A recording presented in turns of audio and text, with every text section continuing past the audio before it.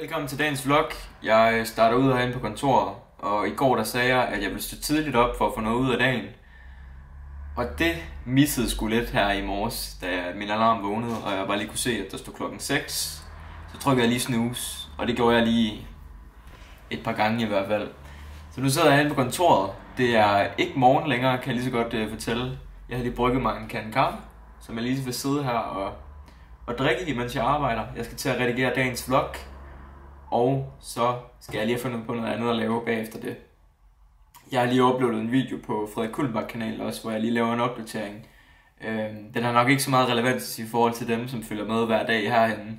Men, øh, men nok mere til dem, som er henne på kanalen og ikke følger med på Daily Vlogging kanalen.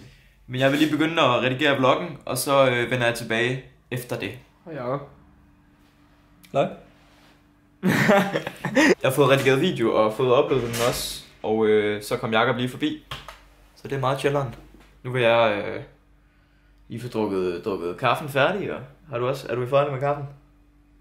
Ja. Skal du have mere? Nej, jeg fik ikke sove.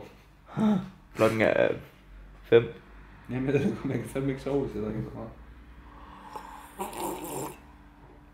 Jeg vil øh, blive ved med at sidde herhenne, og så, øh, så skal vi lige have fundet ud af, hvad der skal ske. Jeg tror lige, jeg skal til at optage en video, som jeg har haft lyst til at optage i rigtig lang tid. Hold da kæft, der er sgu da blevet mørkt udenfor igen. Jeg sidder herinde i øh, efterhånden 3-4 timer nu. Og jeg har, øh, jeg har lige færdiggjort videoen. Jeg har fået optaget den, jeg har fået redigeret den, og jeg har fået uploadet den. Det vil sige, at jeg har uploadet den til at komme ud søndag. Øhm, fordi jeg uploadede en, en video i går, og for lige at få adspredt det lidt, sådan at der ikke, øh, sådan der ikke kommer noget op hver evig eneste dag på Frederik Kuhlenberg kanalen, så kommer den op søndag. Øhm, søndag kl. 10.30. Øhm, så der kan I komme ind og se den, hvis I kan huske at skrive bag i øret. Så kommer jeg til at snakke om noget, som, øh, som er fra min barndom. Jeg viser en masse barndomsbilleder, øh, og det synes jeg er mega hyggeligt at sidde og lave. Så smut ind og se den, hvis du har lyst til det på søndag kl. 10.30. Det vil vi blive rigtig glad for. Jeg synes, at det, det, blev, det blev sgu et rigtig fint resultat, synes jeg selv. Min mor ringede lige før, øh, så det vil sige, at jeg skal hjem og spise lige her om et par minutter. Og så ved jeg sgu ikke, hvad der skal ske her i, i aften. Det har jeg sgu ikke lige fået, øh, fået styr på endnu. Jeg kom lige i tanke om, at jeg havde slået i ISO'en på væk fra auto, fordi jeg har kørt med, med lys. Det har jeg lige fået, fået taget på auto igen, så nu er der forhåbentlig lidt lysere herinde i lokalet. Jeg tror faktisk egentlig bare, at jeg vil pakke sammen herhen. Nu har jeg siddet her øh, noget tid. Det blev sgu ikke til, til nogle afleveringer i dag, men det havde jeg egentlig også. Altså, det tror jeg, jeg havde øh, vidst allerede, da jeg kommer hen, at, øh, at jeg nok ikke fik lavet nogle afleveringer i dag. Men øh, jeg har fået lavet en video, og det er jeg super tilfreds med. Øh, så det er mega nice.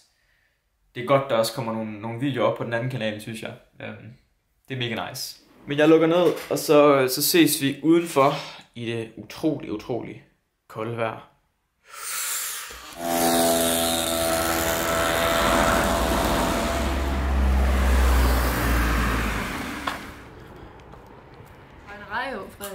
Jeg skal ikke have alt det der, jeg kan ikke lide alt det der var på.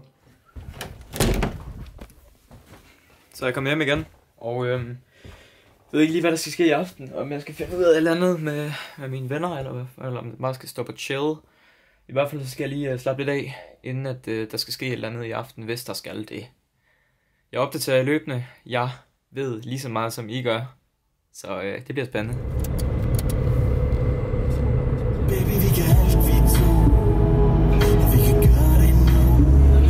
Ikke tillægge dem nogle øh, evner, som de ikke har. Hvis det stod Eller til mig, så skulle de fandme have magten tilbage igen, fordi der er fandme ingen i Danmark, der kan finde ud af at styre lorten længere. Det er Niklas, hvad det, du vil have.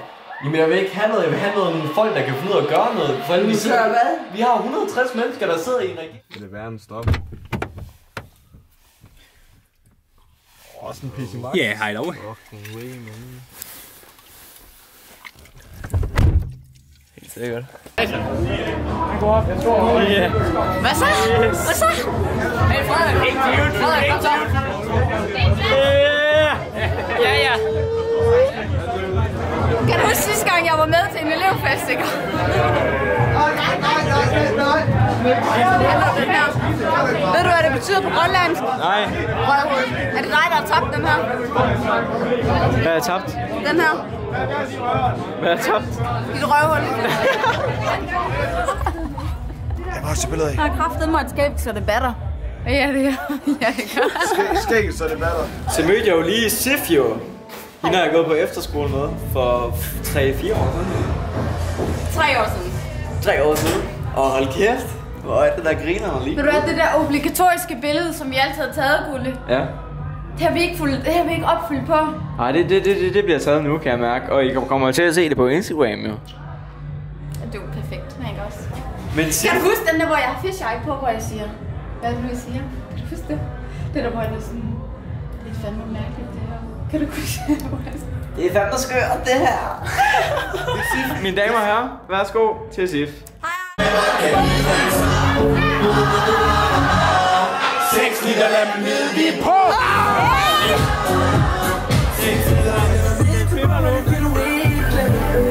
All no one. She's got to.